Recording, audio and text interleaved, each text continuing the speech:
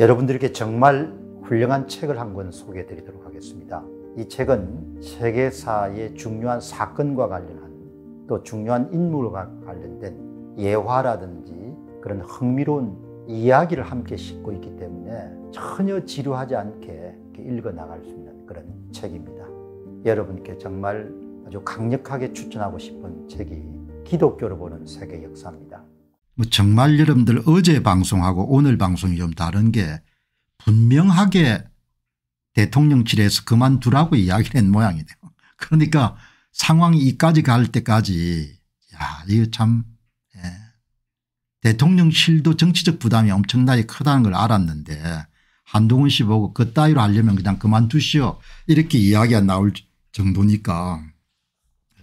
한동훈 씨가 임기까지 채우겠다. 예, 예 조금만 계시죠.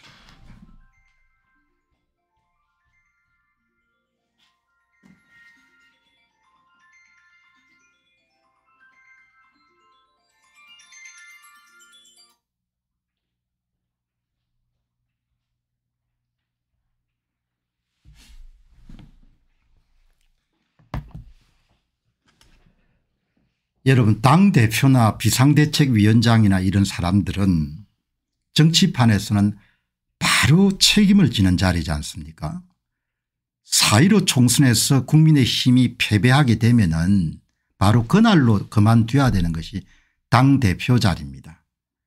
그래서 거의 뭐 파리 목숨 같은 그런 자리죠. 공천권을 쥐고 있을 때는 폼을 잔뜩 잡지만 2020년도 4.15 총선 날 여러분들 4월 16일 날 바로 황교안 씨가 그만뒀지 않습니까 황교안 씨가 그만두기 전에는 다들 공천권을 쥐고 있으니까 굽신굽신했지만 바로 거기서 그냥 그만두지 않습니까 당 대표 자리라는 것이 겉으로는 화려하고 이런 강하게 보이지만 아무것도 아니거든요. 패배하면 은 그냥 그대로 그만두는 자리입니다. 해보니까 한동훈 씨가 자리가 좋기는 좋은 모양입니다. 총선 이후까지 이 자리를 할 거다 이렇게 이야기를 했네. 총선 이후까지. 그러니까 이런 말도 이름 들어보면 내가 말 꼬투리를 잡자는 것이 아니고 예. 말을 원래 한동훈 씨가 잘하지 않습니까 잘하는데 말하는 걸 보니까 이번에 아이고 이런 생각이 드는 겁니다. 총선 이후까지 한동훈 씨가 어떻게 여러분들 국민의힘에 남아 있습니까 총선 끝나면 바로 책임져야 되는데 그러니까 지금 그만두든 총선 여러분들 끝나는 날 그냥 그만두든 결과는 똑같습니다. 현재 국민의 힘이 돌아가는 상황을 보게 되면 은 선거 이런 식으로 치러 가지고 못 이깁니다. 이길 수가 없는 겁니다. 예. 대통령이 하나도 이런 부담을 지지 않기 위해 가지고 지금 이렇게 평평하게 여러분들 다투는 상황에서 투표 관리관 개인 도장 여러분 날인까지 대통령 발언이 한 말도 없다는 이야기는 기본적으로 4월 10일 총선을 윤 대통령이 포기했다 이렇게 봐도 하나도 틀린 게 없는 건 물론 대통령께서는 내가 포기한 적이 있습니까 이렇게 하겠죠. 그러나 제 눈에는 선거를 이대로 치르겠다는 이야기는 성, 총선을 포기한 거죠. 논리적으로. 예. 총선을 포기한다고 대통령께서 말씀하지 않으셨지만 대통령이 이 화급한 상황에서 선거관리위원회가 모법인 공직선거법에 이름 규정된 대로 투표관리관 개인 도장을 투표용지 찍어 가지고 위조 투표지를 만들 수 없도록 그렇게 국민의힘 특별위원회에서 이름 요구를 했으면 은 대통령이 한 말씀 정도는 해야 그래야 이 친구들이 따를 거 아닙니까 예. 납득할 수 없는 거죠. 한동훈 씨도 마찬가지고 다 이런 정직하지 않기 때문에 비용을 어마어마하게 치를 수밖에 없는 겁니다. 지금 돌아가는 상황이 다들 예, 검사를 10년 20년 30년 했다고 하는데 정의에 대한 관점이 이렇게 흐릿해 가지고 아예 처음부터 이런 공직을 맡지 말아야 되는 사람들인 겁니다. 그냥 검사로서는 나쁜 놈이라 때려잡는 거 그냥 그걸 계속 했어야 되는 사람인 거죠. 예. 일반의 시중의 이름들 장사하는 사람들보다도 올, 올바름에 대한 그런 부분들이 흔들려 가지고 나라 일을 어떻게 합니까 그 이제 이런 분명한 것은 대통령실이 사퇴 요구를 분명히 했다는 거지 않습니까 예, 분명히 그러니까 예. 그런데 답변이 아주 명언이지 않습니까 총선 이후까지 국민의 힘에 있겠다. 상황 판단을 전혀 못하고 있다는 겁니다. 제 임기는 총선 이후까지 이어지는 것으로 압니다. 웃기는 소리지 않습니까 지금 그만두나 총선 여러분들 출구조사 이름 나오고 나서 그만두나 똑같은 겁니다.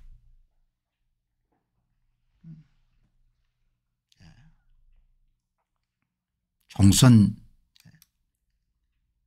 이게 아주 명언임 저의 임기는 총선 이후까지로 알고 있습니다. 저는 4월 10일 총선이 국민과 이 나라 미래를 위해서 정말 중요하다고 생각합니다. 그래서 국민과 이 나라를 위해서 여러분들 정말 중요한데 광주 가서 이런 비석이나 열심히 닦고 있으면 되냐 이야기죠. 비석도 닦지만 비석 닦지만 더 중요한 게 뭐냐 이야기죠. 당신이 광주 광역시 가서 지금 묘지 비석 이름 닦는 것보다 훨씬 더 중요한 게 뭐냐 이야기죠. 최소한 투표 관리관 개인 도장 날인이라고 관철시키기 위해서 독려하는 것이 여러분들 훨씬 더 중요한 일인 겁니다. 광주 가서 이런 묘지석 닦을 때 다른 사람들이 어떻게 생각하겠습니까 호남 사람들이 이름 소외받은 거에 대한 부분에 대한 생각만큼 다른 충남이나 대전이나 충청이나 강원도나 이런 사람들은 뭡니까? 어떻게 이름들 항상 누가 되면 은 맨날 뭐 호남부터 먼저 가나 이런 생각할 거 아닙니까? 그러니까 참 제가 볼 때는 다 그냥 정해진 털대로 자기 생각이 없는 겁니다 자기 생각이. 응? 국민과 이 나라를 미래를 정말 중요한 것이 4월 10일 총선이면은 4월 10일 총선에서 최소한 선거 사기가 발생하지 않는 문제에 대해서 그만큼 예, 비중을 두고 신경을 써야 되는 거죠. 그런데 뭐 이 몇 주가 안 됐는데 여기서 이제 그렇게 용산하고 이렇게 어그러져 가지고 예, 참 보통 문제가 아니네요.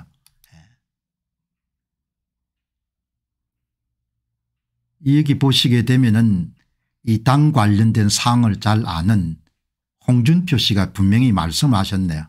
예. 당 대표나 비상대책위원장은 그냥 바로 그냥 날아갈 수가 있는 거다. 이렇게 이야기를 하네요.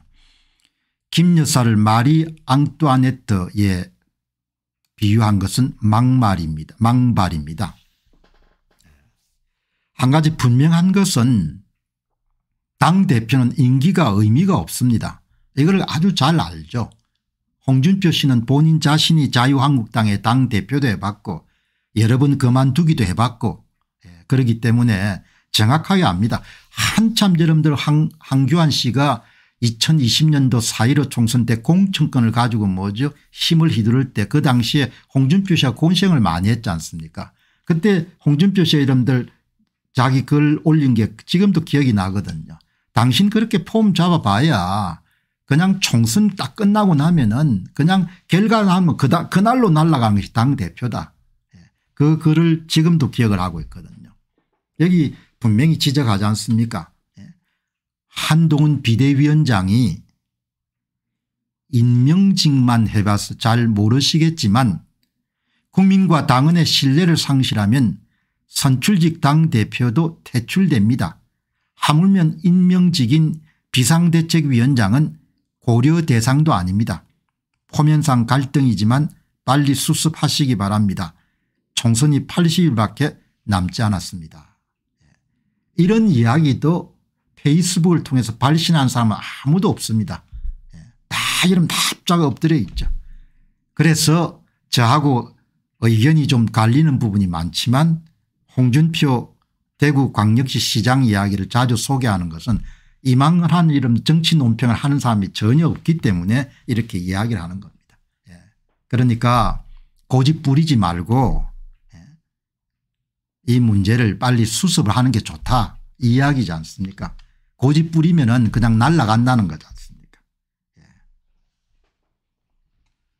그러니까 제 이야기의 요지는 한동훈 비대위원장이 알고 계시는 것처럼 4월 10일 총선 이후까지 한동훈 비대위원장의 여러분 자리가 유지되는 것이 아니고 비대위원장은 그냥 총선 끝나고 나면 총선 여러분들 출구조사 나오고 예, 그러면 새벽 정도면 여러분들 사표 써야 되는 겁니다. 그런데 예. 지금 돌아간 것은 어떻습니까 음? 새벽 한 5시나 6시에 국민 여러분 최선을 다했지만 대단히 죄송합니다. 이런 이야기가 나올 가능성이 매우 높지 않습니까? 예. 매우 높은 것은 대단히 논리적인 여름 추론이지 않습니까? 왜 위조 투표지를 이번에도 못 막을 때니까? 그렇게 가르쳐줘도 위조 투표지를 막을 생각이 없는 거지 않습니까? 윤 대통령께서도 위조 투표지를 막을 생각이 전혀 없고 한동훈 여름 비대위원장도 위조 투표지를 막을 생각이 없지 않습니까 그럼에도 불구하고 총선은 이기겠다는 거 아닙니까 나는 도대체 이해할 수 없는 것이 서울법대를 나오고 사법고시를 여러분들 통과하고 공소장을 수없이 써본 사람들일 텐데 원인 결과가 그렇게 여러분들 해석이 안 되면 사고를 어떻게 이런 그동안 공소장들은 어떻게 써왔는지 모르겠어요. 선거가 이런 공정하지 않는데 결과가 좋을 것이다. 이 무슨 이야기입니까 선거가 엉망진창인데 결과는 무진장 좋을 것이다. 지금 그렇게 대통령하고 이런 비대위원장이 다 믿고 있는 거지 않습니까 기가 찬 거죠. 서울법대로 어떻게 나왔는지 모르겠어요. 거꾸로 나왔는지 앞으로 물론 다들 앞으로 나오시겠죠. 사법고시는 어떻게 통과했는지 모르겠습니다.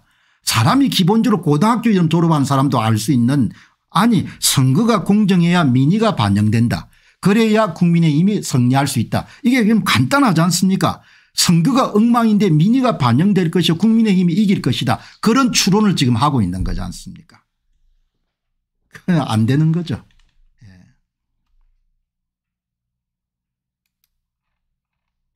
여러분들 2020년도 4.15 총선에서 일어난 일을 낱낱이 밝힌 도둑놈들 사권 2020 4.15 총선 어떻게 훔쳤나가 출간되었습니다.